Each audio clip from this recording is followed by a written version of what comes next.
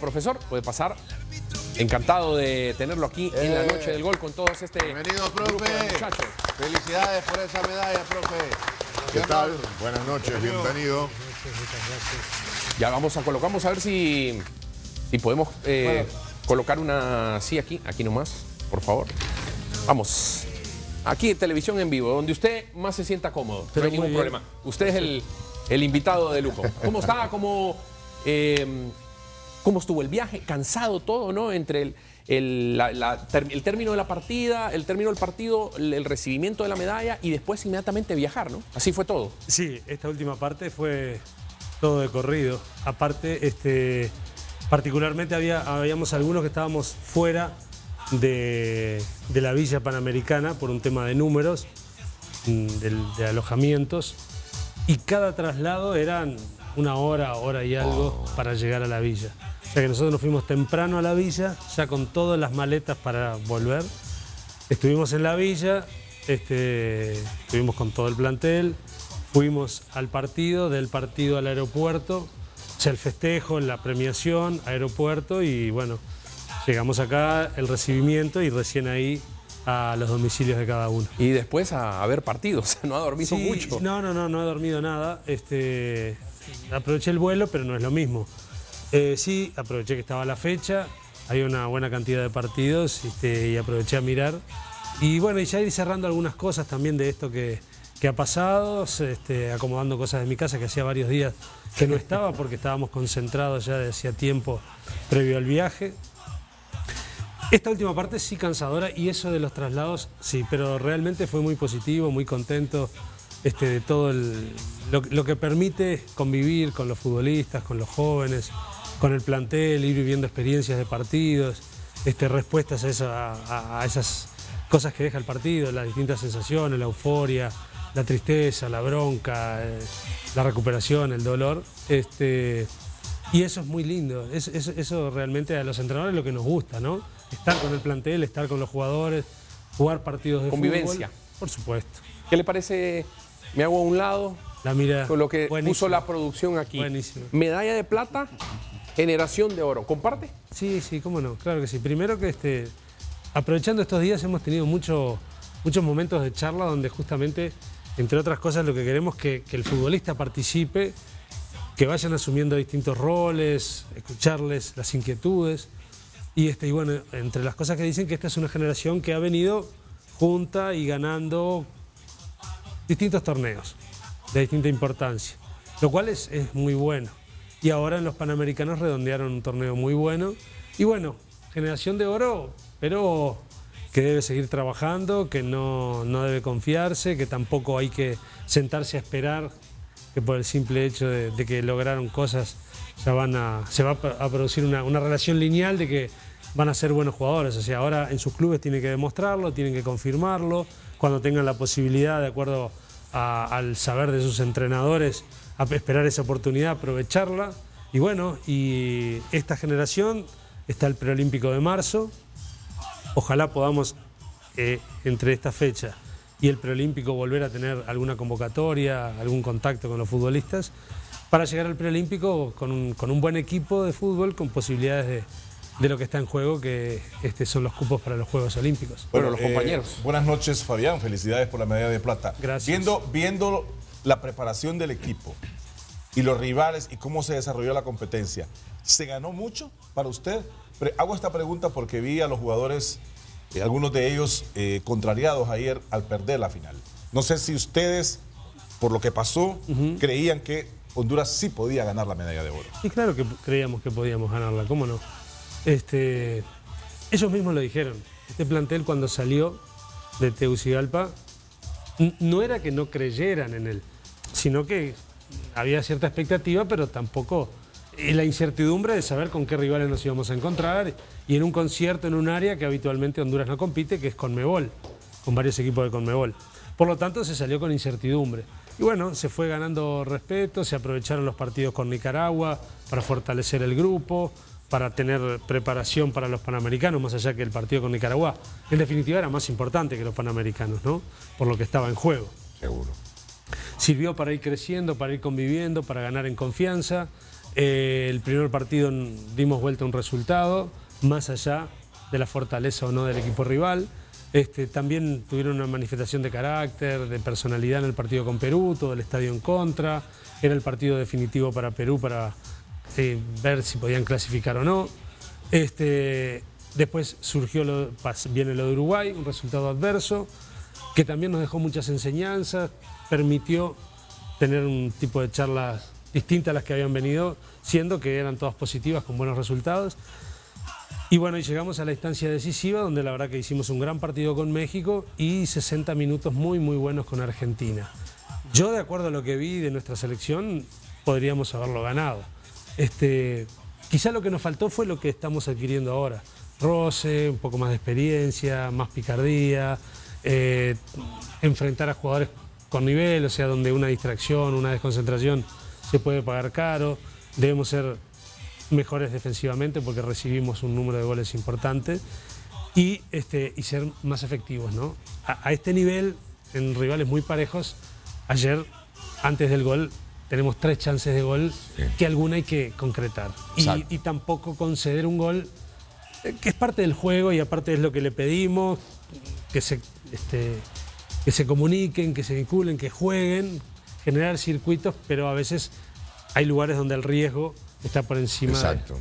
Hay una pregunta, eh, Fabián, porque nosotros en la radio manejábamos, ¿será casualidad, coincidencia? En los cinco partidos Honduras estuvo perdiendo.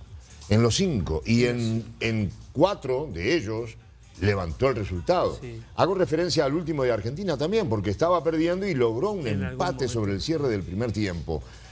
¿Es casualidad? ¿Es No, no, coyuntural? no, habla de cosas, habla de algo, ¿no?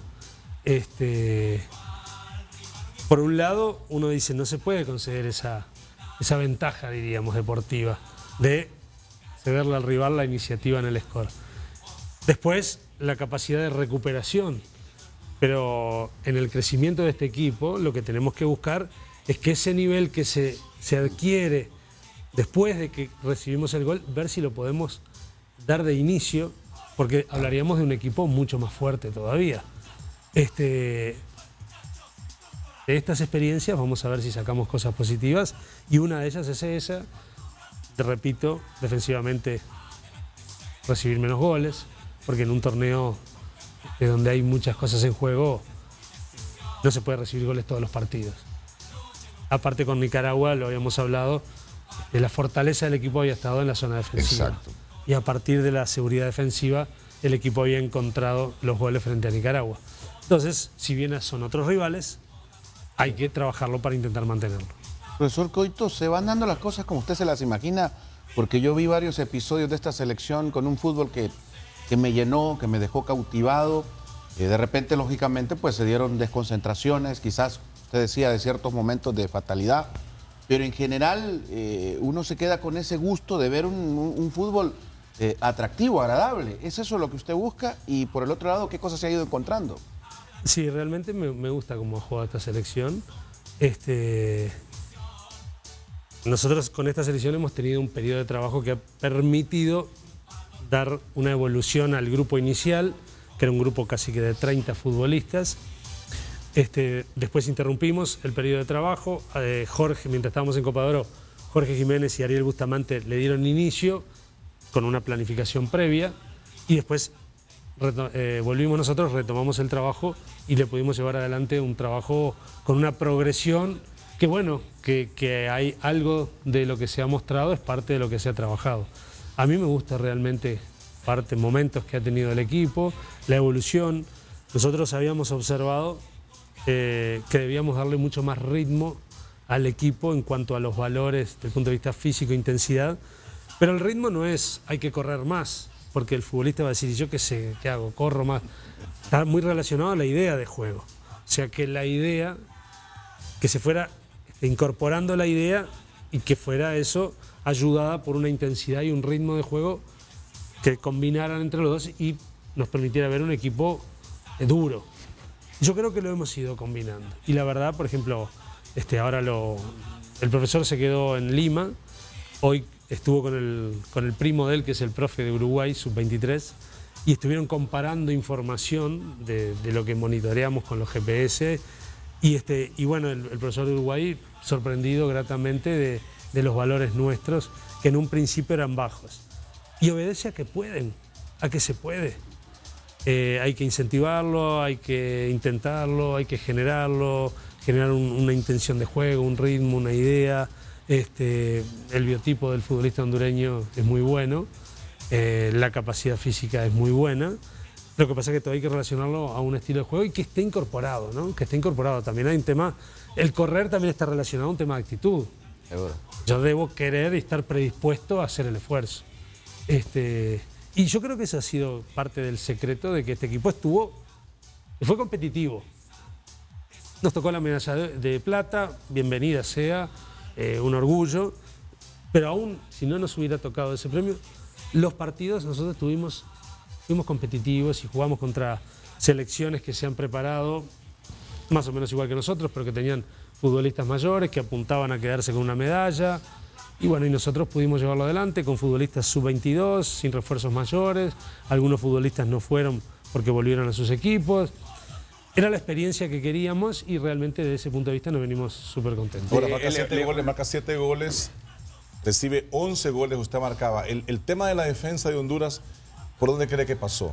Fallas individuales, fallas colectivas, fallas de funcionamiento, ante rivales superiores, rivales. como- porque por ejemplo contra los sudamericanos se reciben cuatro contra Argentina y tres contra Uruguay. Mm. De los 11 goles se recibieron siete contra dos rivales fuertes de Conmebol. Sí, ahí con Uruguay este, podríamos decir que los dos primeros goles son, son accidentes, ¿no? Son, son circunstancias no habituales.